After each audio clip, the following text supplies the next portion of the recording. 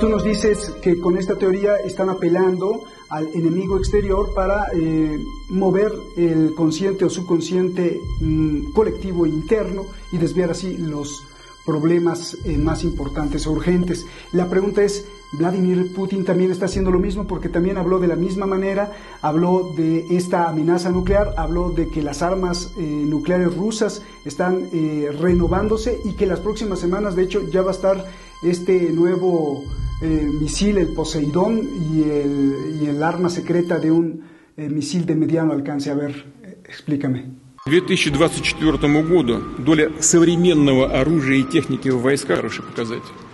А в ядерной триаде уже в этом году превысит 88%. Me parece que en, en, en, la forma, mi querido Roberto, también aplica la tesis orwelliana, por supuesto. O sea, la creación de un enemigo como un externo y mantenerlo permanentemente en la mente de la colectividad es importante. Rusa para poder, sí, de la colectividad rusa, es importante para poder mantener el liderazgo. Recuerda que acaba también de hacer una, un paso eh, importantísimo, que fue la aprobación de su reelección hasta el 2036. Y no todos los rusos, no el 100%, aunque la prensa rusa y también la autoridad rusa se ha encargado de callar las voces que salen de allá, eh, las voces disidentes. Y no me refiero al fantoche de Nalbani, al Juan Guaidó ruso. No, me refiero a los activistas reales que están preocupados por la eternización de un personaje en el poder. Eh, entonces necesita también decir, en Estados Unidos nos están agrediendo, lo hizo Trump, lo está haciendo con mayor beligerancia eh, Sleepy Biden, que sí lo está haciendo. Entonces me parece que también aplica la tesis orwelliana, pero de, de manera reactiva, de manera defensiva. Y me parece que es importante que lo mantenga claro porque, Roberto, si hemos estado viendo que no es Rusia quien tiene bases militares en Cuba, ni en Barbados, ni en Haití, ni en República Dominicana, ni en México, ni en Hawái. Es Rusia, no es Rusia quien está sobrevolando las costas estadounidenses. Es, y, y, nos han vendido hasta esa idea de que Rusia interviene con sus hackers en las elecciones del 2016, Rusia intervino con el Solar Wild en las elecciones del 2020. Si te dicen Rusia nos está espiando en nuestra propia casa, pero cuando uno ve como investigador, más allá de lo que dicen los medios chayoteros, o sea, los medios que reciben dinero, a lo que le decimos en México chayote, para hablar bien o mal de un gobierno eh, a favor del que les paga, lo que sí vemos es que hay bases militares de Estados Unidos desplegadas por todo el mundo con, esta, con este círculo de cerco a, a China y a Rusia principalmente. O sea, a China ahora le están intentando repetir la dosis de encerrar lo que le estuvieron haciendo en aquel entonces a la extinta Unión Soviética y ahora Rusia. Parte de la preocupación de que eso no se termine de materializar en la frontera rusa misma es que hay una constante amenaza de convencer a Ucrania y de apoyar a Ucrania para que se convierta en miembro de la Organización del Tratado del Atlántico Norte, lo que implicaría que si Ucrania entra a la OTAN, pues tenga que cumplir con esta normatividad de la OTAN y que puedan incluso aceptar tener tropas en la frontera misma de Rusia, tomando en cuenta que la OTAN fue creada para combatir a Moscú en la época de la Guerra Fría, pero tomando en cuenta que esta gerontocracia al servicio de los corporativos multinacionales, en donde los lobbies petroleros y también del armamento están muy interesados, porque yo también estoy muy de acuerdo con lo que dice Francisco, de que el tema de la especulación eh, financiera, de petrobonos, incluso de los precios de los barriles de petróleo, aumentan cuando hay incertidumbre y por lo menos aumentan uno o dos meses, pero hay mucho lucro multimillonario a costa del sufrimiento de las masas, de un lado y de otro. Pero en este caso yo lo identifico como que Joe Biden y esta gerontocracia estadounidense al servicio de estas empresas están al acecho intentando lograr legitimidad, porque recuerda que ya también lo decía eh, Max Weber, eh, que la, la legitimidad entendida como la percepción de una comunidad del derecho de alguien que tiene a ostentar autoridad en razón de que cumpla con la misma normatividad colectiva, derrumba resistencias antes de que éstas se presenten. Y Joe Biden tuvo una llegada al poder, un acceso al poder con muchas resistencias internas. No así Putin, porque Putin ha, ha podido domarlas de mejor manera en Rusia, pero digamos un precio tiene que pagar el autodefinirse como democracia. Y me refiero a que Estados Unidos por lo menos tiene que respetar cierta formalidad mediática para poder seguirse auto, autodefiniendo como democracia. Y una de estas es que le tiene que dar acceso a disidentes y, le tiene, y tiene que estar abierto a la crítica. Entonces, eh, sí me parece, Roberto, que en el caso de, de Joe Biden, este impulso de retomar el tema Ucrania, este impulso de retomar el tema de Rusia nos intervino en 2016 y nos intervino en 2020 y nos están espiando constantemente, es un discurso puro y duro de la Guerra Fría en pleno 2021. Entonces, aunque aplica la tesis orwelliana, yo a mí me parece que sí es prudente que Putin le recuerde que ya no estamos en un, en un sistema unipolar, que por el contrario estamos en un mundo multipolar y que Estados Unidos se tiene que acostumbrar y tiene que lidiar con el hecho de que ya no es la superpotencia ni nuclear, ni militar, ni económica. Bien, eh, eh, creo que el día de hoy los tres estamos muy chistosos y, este, y eso les agradezco mucho porque en un tema tan delicado, pues creo que es, es, es bueno estar sonriendo. Eh, ¿Qué decías, Francisco, que, que allá abajo, qué? Porque hacía señas de que allá abajo también, abajo de qué o qué. También aquí abajo y debajo y debajo de, de las bases americanas, también aquí hay no solamente bases americanas, sino bases de la OTAN. Es decir, en España también todos los gobiernos de derecha, de centro y de izquierda han sido fieles servidores eh, lacayunos de lo que diga, bueno, no hay más que ver eh, las últimas propuestas del que yo creía que todavía era una persona con un nivel neuronal y de inteligencia como es el presidente de Relaciones Exteriores de la Unión, eh, de la Unión Europea, Josep Borrell. Pues es un connacional tuyo, ¿no? Es un compatriota tuyo. Oye, yo pensé que decías que...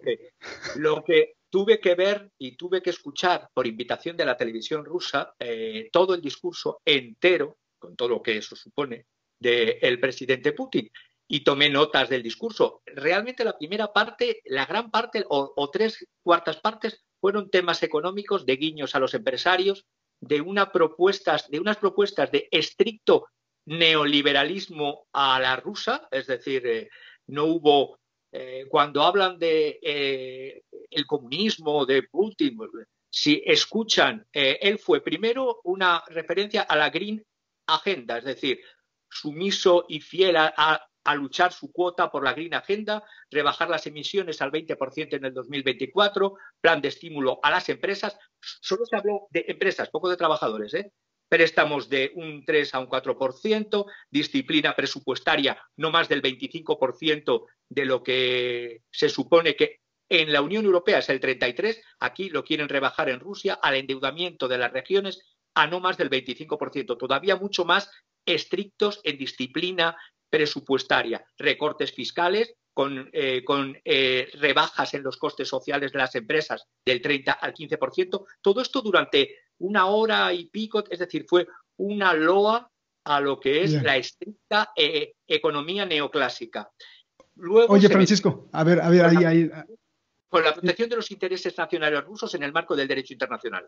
Intentos del golpe de Estado, comentó, se puede detestar o se puede amar a Lukashenko a Yanukovych y a, Nicolás Maduro, pero es eh, insoportable desde el punto de vista del derecho internacional, y ahí estoy de acuerdo, el que se juegue con asesinatos selectivos, con golpes de Estado y con, por ejemplo, cortar el bloqueo de comunicaciones y de suministros a eh, los países porque se considere este me conviene, este no me conviene. Pero sí dijo claro, también sacó fuerza y Putin es un gran jugador de ajedrez. Yo creo que ha ganado esta partida de ajedrez porque lo ha hecho, igual que hizo con Georgia, eh, yo, eh, pero la Georgia de, eh, de Eurasia, con Mikhail Saakashvili, sin disparar un tiro, ha ganado y por eso el clown convertido en presidente de Ucrania le ha pedido reunirse ahora, es decir, primeramente pedía este, este señor Zelensky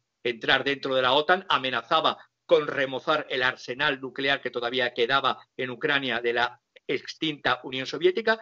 Y como Putin ha colocado 100 a 120 mil eh, miembros de su ejército en su, en su territorio, en su frontera, jamás ha traspasado. Porque además a todo esto, Moscú no ha reconocido ni reconocerá jamás formalmente a las repúblicas del Donbass. Es decir, sigue considerando que son repúblicas autónomas dentro de Ucrania, pero muy inteligentemente, muy inteligentemente ha, eh, hecho que eh, estas repúblicas funcionen ligadas al rublo, que hablen solamente ruso dentro de su, dentro de su territorio, porque además son rusófilas y que además estén muy vinculadas a la economía y que incluso tengan una doble nacionalidad, mm, un 10% de las personas que viven allí, pero jamás no viola el derecho internacional porque no reconoce, sería un gran error para sus propios territorios de la Federación Rusa, reconocer formalmente a estas repúblicas en derecho internacional. Sigue considerando las ucranianas y por lo tanto Zelensky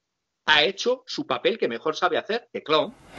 Pero ¿qué está haciendo Vladimir Putin? Porque por un lado parece ser que se echa para atrás replegando todas las tropas que mandó a Ucrania, más de 80 mil soldados, diciendo que son ejercicios militares y eso por un lado, y por el otro, pues está cerrando el estrecho entre el mar Azov y el mar Negro, lo que desconecta a Ucrania por la parte del este del mundo y del mar y de todo. O sea, e, e, este movimiento, ¿qué significa?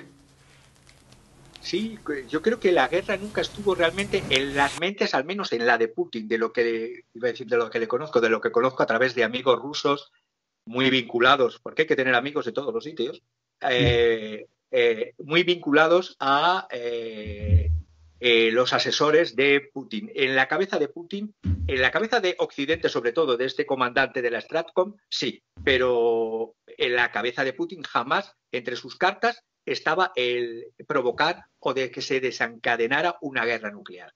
lo que sí hizo fue, y por eso lo he querido resaltar, la estrategia que utilizó muy exitosamente cuando en Georgia el líder de Georgia, eh, impronunciable Saakashvili, Mijail, eh, líder georgiano, hizo un ataque en el 2008 contra los rusos, protegió a la región separatista de Osetia del Sur, creyendo que intervendría quienes pinchan, USA, Francia y Alemania. Pero se dio cuenta que mostrando fuerza y jugando bien al ajedrez estratégico, no es necesario disparar muchos tiros, ganó la guerra cuando el ejército georgiano se vio, pues, ¿qué es el ejército ucraniano? Si mm, es un ejército de, ¿cómo se dice en español? Conscrit, de eh, tanto de reservistas como de obligados a ir al ejército, que están abandonando masivamente eh, las filas, incluso con los, con los fusiles sin dejarlos en las casernas. Por lo tanto, con un ejército así, ¿qué guerra vas a ganar? Entonces, él eh, lo puso en la frontera, el suyo, que está en academias militares, que están ligadas, además, que lo dijo en el discurso, reforzar la formación de las academias militares ligadas a, las academias civiles, y en el otro lado, pues eh, un ejército que está formado por jóvenes y por, y, por, y por reservistas, y muchos de ellos entregados al alcohol y a las drogas, pues lógicamente se ganó la guerra sin disparar un tiro y lo que hizo fue replegar velas el señor Zelensky. Y el señor Zelensky lo que ha hecho ahora es querer tener una reunión. Y lo que decías también, Roberto, es lo del espacio aéreo y lo del espacio marítimo. Lógico, tú desde la península de Crimea, eh, desde la ciudad de Kerch, creo que es, eh, que es una punta península, hacia, hacia, la parte rusa, eh, originariamente de territorio de la Federación Rusa, lo que cierras es el mar de Azov. Entonces, al cerrar el mar de Azov, eh, se queda, eh, ningún barco puede entrar en esa parte, no solamente por mar, sino por aire, porque además cerró el espacio aéreo a vuelos que, no que estuvieran por, por debajo de 19.000 19 metros, creo que es el pues, que, las palomas hombre, no, nada, nada vuela. Oye, eh, ¿y eso, y eso eh, o sea, ¿es, legal cerrar el estrecho? A ver, cuando estás en una situación, desde el punto de vista del derecho internacional, si tienes, hay una amenaza porque días antes te venían como en el poema de Rubén Darío, ya viene el cortejo, ya viene el cortejo, ya soy eh, los claros clarines, cuando vienen los buques, en este caso dos buques de la Marina norteamericana. Y los destructores británicos también. Y luego después a la zaga le venían los destructores británicos, lo único que hace el derecho internacional es eh, quienes tienen el derecho de abrir o cerrar o de supervisar los estrechos, según mm. el derecho marítimo, cuando hay un peligro inminente de posible conflicto, porque eso no son barcos comerciales. Entonces sí veía guerra, ¿no? Sí veía guerra, ¿no? O sea, por un lado se repliega las tropas que parecería que le da miedo, pero por el otro lado cierra el, estrecho, entonces es como un golpe así bajo, duro, fuerte. Es que, es que los jugadores de ajedrez juegan con la cabeza, los payasos juegan con las oflamas, es decir, eh, tú no puedes eh, lanzar órdagos en el ajedrez. Déjame ir con Jesús. A ver, eh, eh, Jesús, este, varias cositas. Eh, primero esto de la, amenaza nuclear desde el US Stratcom, que dicen que sí la ganarían. y con la tesis que nos explicas, bueno, pues parece ser que todo es disuasorio y además, este, pues quien hoy levante la mano y diga yo voy a ganar la guerra nuclear, pues son puras mentiras, ¿no? Pero también, eh, eh, también Putin dice lo mismo, ¿no? Que tiene la fuerza nuclear necesaria para darle un golpe. Entonces, todo el mundo está mintiendo cuando dice que, eh, incluido Putin, cuando dicen que, que él es el, o, China o, Biden va a ser el vencedor. O sea, todo esto es parte de un solo bluff. Esa es una. Dos, ¿cómo analizas este retiro de tropas? Eh, el, repliegue de los 80 mil que tenía en tensión a la OTAN y ahora pues ya la tensión empezará a bajar, solo fue un, fue un amague este, el, de las tropas rusas. Y tercer punto, eh, el mundo está cambiando con Biden y aquí a lo mejor sí van a, los dos no van a coincidir. Este, tú ves que esté cambiando eh, Biden, eh, digo, el mundo con Biden, porque hay muchas cosas, muchísimas cosas. Por ejemplo, eh, parece ser que van a regresar al acuerdo nuclear con Irán, lo cual, este, pues Israel está, pero muy nervioso y seguro que lo van a torpedear al regresar al acuerdo nuclear, meterían también en jaque a Rusia porque entonces Irán va a eh, pues a producir muchos, más de 3 millones de barriles de petróleo, lo cual no le va a caer nada bien a Rusia. Eh, le están cortando la venta de armas a Arabia Saudí, algo increíble desde Estados Unidos. Reconocerán, el, eh, parece ser, el genocidio armenio. O sea, hay muchas cosas que está, ¿qué está pasando? ¿Sí está cambiando o son movimientos nada más de bluff, de maquillaje? Adelante, Jesús. Pues mira, si no dejo fuera del aire alguna de las, de las preguntas que, me realizaste, me las recuerdas, por favor, querido Roberto. Estoy de acuerdo con, Francisco cuando define el tipo de jugador en el ajedrez que tiene que tener cabeza fría y decidir en el momento, maximizar las ganancias y reducir pérdidas. Y en ese sentido me parece que Vladimir Putin le ha dado una lección a Estados Unidos en su propio terreno. ¿Por qué? Porque Estados Unidos tiene 800 bases militares en el mundo, querido Roberto. O sea, las preocupaciones rusas no son gratuitas. Además, Estados Unidos ha invertido mucho dinero en publicidad, en propaganda antirrusa, no solamente en el hemisferio occidental, sino también en Europa. O sea, ya lo hablábamos en otros programas, hasta el 60% de la gente, por ejemplo, en Alemania, en Países Bajos, en Bélgica, en el mismo España, no tiene una buena percepción o una buena opinión eh, acerca de Rusia, sino el mismo Francisco que nos lo, que nos lo diga, si, si es falso lo que digo. Entonces, la deslegitimación de la contraparte, la generación de la otredad, en este caso del ruso militarista, del ruso autoritario, del ruso irracional, del ruso que habla con un acento feo, eh, que se enfrenta al Rocky Balboa estadounidense, tiene la finalidad de deslegitimar todos los, movimientos que haga Rusia, incluso en su propia defensa. Pero los estadounidenses sí se atreven a decir abiertamente y públicamente que están vigilando las dos bases que tiene Rusia fuera de Rusia y las seis bases que tiene Rusia cerca de las fronteras de otros países aliados a la OTAN. Es decir, hay una incoherencia en el mismo discurso estadounidense que luego la gente deja de percibirlo consciente o inconscientemente, porque el aparato propagandista para descalificar todo lo ruso, eh, la rusofilia, es también brutal, es importante. Ahora, no echaría yo un saco roto y no estoy diciendo que todo sea puro cuento y que todo sea pura disuasión. Yo lo clasifico de dos maneras. Lo que sí pone en riesgo nuestra existencia como, como especie humana es una guerra nuclear. Yo sí considero que una guerra nuclear y que bastarían 100 bombas de menor rango, de kilotones, ni siquiera de teratones, eh, como las que se tienen para destruir el planeta en los términos en los que lo conocemos. Yo sí digo que eso lo veo muy complicado porque la paradoja del poder nuclear es que incluso puedes tener eh, tantas armas nucleares desplegadas y almacenadas como Rusia y como Estados Unidos, pero si un día se van a la guerra la India y Pakistán, con eso basta para que toda la especie humana nos calcinemos o nos intoxiquemos. Con eso basta para que haya un invierno nuclear interesante que nos ponga a parir chayotes a todos y a mucha humanidad en búnkers, en donde seguramente morirían después de cierto tiempo de hambre, ante la incapacidad de producir bajo tierra alimentos a los que estamos acostumbrados.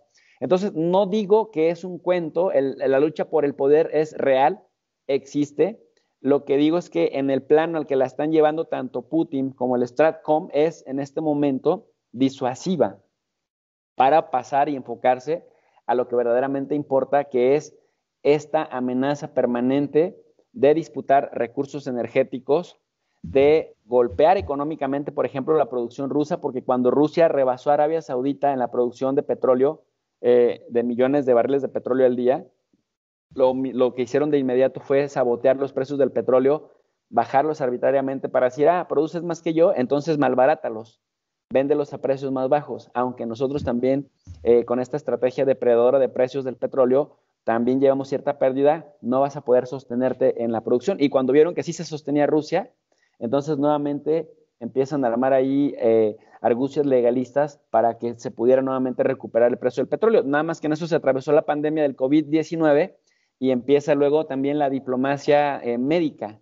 la diplomacia de la cartera por un lado y la diplomacia médica, en donde, por cierto, Rusia le ha dado una importante lección a Estados Unidos de cómo solidarizarse con la humanidad. Y no es cosa menor esto que estoy diciendo, porque a Estados Unidos ahorita, si ya sabíamos que era extractivista, intervencionista, autoritario, acomplejado, acomplejado no, no por sus complejos militares, sino por sus complejos como país que se dice siempre permanentemente amenazado y que siempre se queja de que el mundo los odia, pues es que se comportaron como unos verdaderos acaparadores miserables en el tema de las vacunas, obligando incluso a sus propias empresas farmacéuticas a incumplir contratos con países como México, que ya les habían pagado todas las vacunas, 34 millones de vacunas, por ejemplo, en el caso de México, dinero que utilizaron estos laboratorios para hacer las investigaciones que les llevaron a descubrir eh, la sustancia activa de las vacunas y después, cuando ya lograron tenerla, dicen, primero vamos a surtir al mercado estadounidense, porque así nos lo exige el gobierno federal,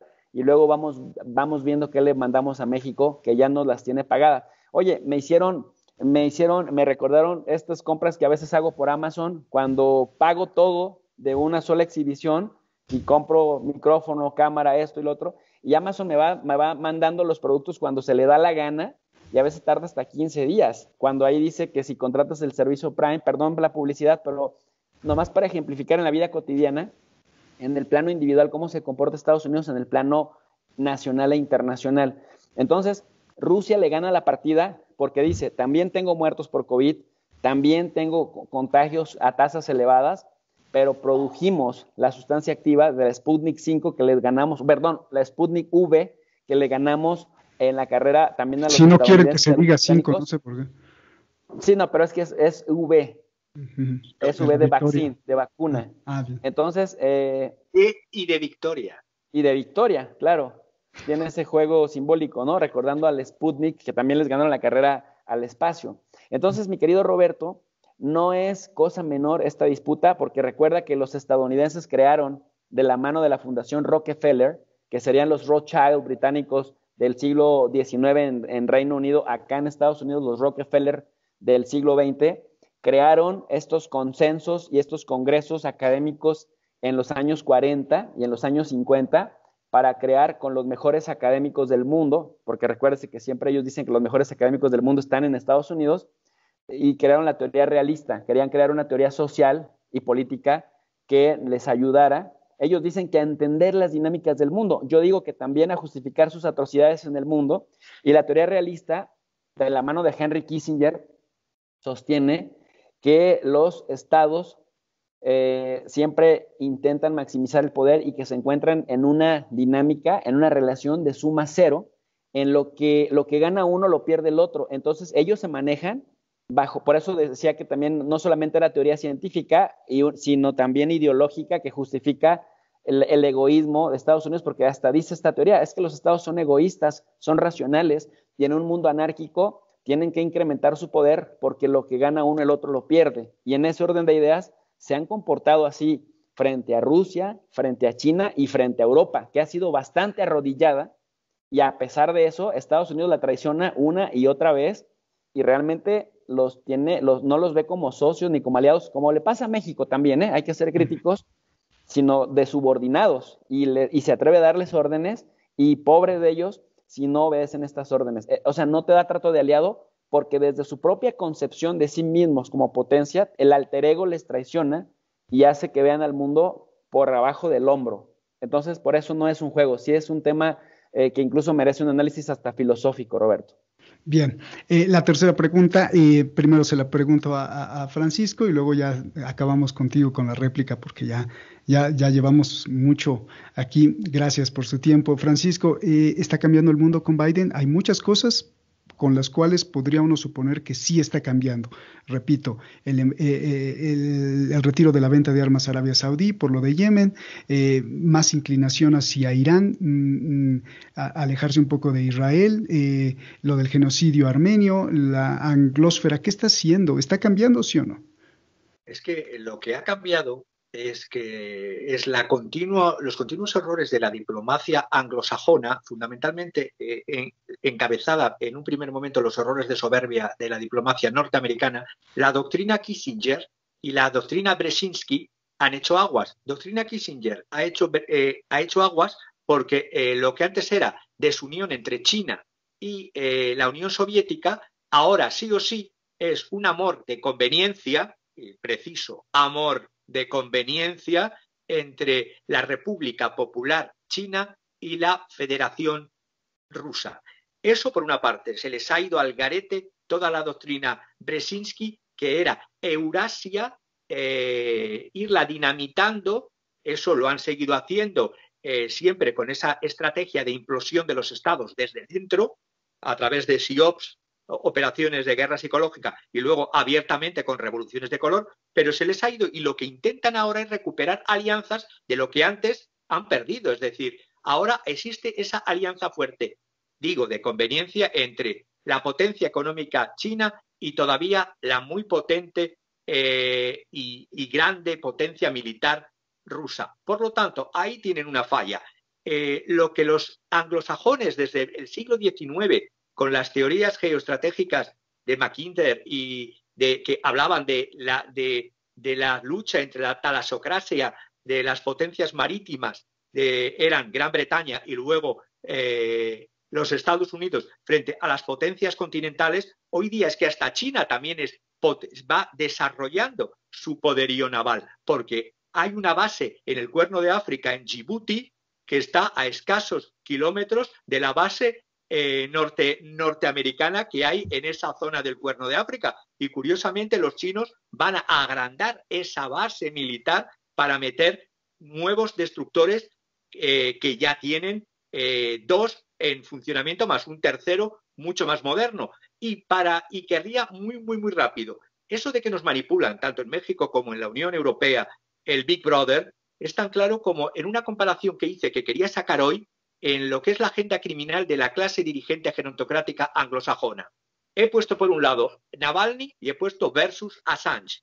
Qué curioso la publicidad que se da en los media occidentales, España incluido, de este mal llamado bloque de la libertad. Es decir, a Assange se le pone como eh, o no se le da la cobertura, igual voy a poner a uno se le considera Navalny como un luchador de la libertad cuando es un ultranacionalista racista sostenido por oligarcas corruptos que entre sus perlas escritas y dichas llama cucarachas a los migrantes del Cáucaso, es un personaje que mezcla Maquiavelo con Kant, debe de haberlos leído muy mal, luego reniega de las, de las, de las revoluciones, eh, eh, perdón, es que lo tenía apuntado, reniega de los mestizos musulmanes, pero pide hace unas horas un Corán dentro de la prisión cuando le trasladaban al hospital. Desde el MI6 se le apoya constantemente, ya hay vídeos y hay grabaciones donde se ve que es un agente del MI6. Esto sería condenado en cualquier país occidental como, como traición. Pero en cambio, el señor llamado Assange se le negó reconocer que fuera preso de conciencia por Amnistía Internacional. Amnistía Internacional se le ha tenido que comer o que envainar cuando primero sí lo consideró a Navalny y luego ha visto estas declaraciones racistas y ya se le ha puesto los pelos de punta. Eh, un relator especial de las Naciones Unidas sobre, sobre la tortura, Nils Melzer, que consideraba y considera a Assange como que ha sido menospreciado en todos sus derechos y que sería un tremendo error, como dijo hasta una jueza británica, Vanessa Baraitzer, que fuera extraditado a los Estados Unidos, porque allí sí la justicia le condenaría injustamente a 175 años de cárcel. En cambio, se considera por parte de los anglosajones británicos del MI6 que eh, la justicia de Rusia no es lo suficientemente parametrizada con la justicia de Occidente. Es toda una, pantomima y por eso he establecido en paralelo, como si fueran vidas paralelas de Plutarco, eh, la fantochada Navalny con el personaje Assange. Así que aquí también, en España, sufrimos de la desinformación. Bueno, no se ha hablado en los telediarios españoles de todas las cadenas del intento de golpe de Estado y de asesinato del presidente, te guste o no, de Bielorrusia y de toda su familia que tenían pensado, y así han detenido a, a los dos agentes, tenían pensado matarle a él, a su esposa y a sus hijos, y de eso en ningún telediario se ha hablado. En España de eso no se habla. Por eso es que muchos españoles ven detrás de la razón.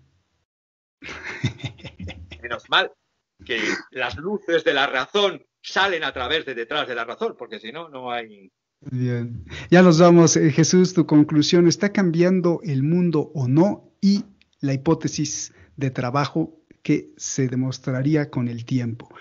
¿Tú crees, te la voy a cambiar, ¿tú crees que la eh, postura o la posición eurocentrista, supremacista, blanca presente en Estados Unidos y presente también en Rusia, se hayan puesto de acuerdo para que a futuro infiltren China? A ver. Yo creo que sí están cambiando los tiempos, pero creo que temas como el comercio, la guerra, la disputa ideológica por el poder mundial, es una canción que se renueva de tiempo en tiempo, con diferentes sonos, con diferentes sones, con diferentes estrofas, pero que ahí está presente y que estamos viendo una, etapa diferente de este son que intenta justamente polarizar por parte de unas élites para lucrar económicamente, políticamente, pero también para justificar sus posiciones ideológicas en aras de utilizar esas estrategias de dominación para seguirse posicionando en el control de todo. Creo que mientras Rusia y Estados Unidos se desgastan mutuamente, pierden de vista el ascenso chino, que, no, que es muy pragmático, que no se anda con tantos rodeos cuando quiere ejecutar algo, y al, al amparo de su crecimiento tecnológico, militar, económico, porque recordemos que China no solamente ha anunciado la erradicación de la pobreza extrema en su territorio, también está anunciando que crece con números que ya quisiera Occidente crecer por lo menos al, 30% de lo que va a crecer China en 2021. Y también, pues que los chinos se han convertido en el terror del comercio tecnológico porque han copiado en un origen, en un inicio, la tecnología de Occidente, pero la han mejorado y la han logrado producir a, escala. Por lo tanto, tienen el margen para inundar el, el, mundo con sus productos de buena calidad. No solamente estamos acostumbrados a escuchar que el Made in China era relacionado con, productos de muy baja calidad, de muy bajo presupuesto y hasta contaminantes. China nos está demostrando que está teniendo capacidad para producir tecnología de muy avanzado nivel. Eh, y además, querido Roberto, que, sí, para que veas cómo está el mundo, para que veas cómo está el mundo, nos trae de cabeza, mi querido Roberto. Entonces, eh, eh, bueno, con esto cierro la, reflexión. Me parece que hay otro jugador importante que, que también se le está perdiendo la pista y es la India. Y la India, por su mera inercia, inercia y por su tamaño, va a ser pronto también otro centro de gravedad importante que hay que observar. Mientras tanto, Estados Unidos lo veo en un declive. Mira, otra vez me pongo de cabeza. Eh, está en un declive. Ya me están saboteando, Roberto, la tecnología. Este, No hables mal de China, de Putin y de Rusia, de, Rusia y de Estados Unidos, todo lo que quieras, pero China no, ¿eh? Sí. Sí, y con eso cerraría. Mientras en Occidente, Estados Unidos en decadencia, en caída libre, eh, hace de todo para no seguirse hundiendo, se pierde de vista el ascenso de otra región, no solamente de China, porque también si vemos en proporción eh, a Japón, que se mantiene ahí, a Corea del Sur, a los tigres asiáticos, me parece que habrá que observar qué están haciendo bien ellos que dejamos de ser bien en el occidente para mantenernos en ese, en ese ascenso. Muchísimas gracias Francisco, muchísimas, muchísimas gracias Jesús, muchísimas gracias Francisco y muchísimas gracias a usted. Recuerde que esto es detrás de la razón que es suyo y permítame acabar con esta reflexión.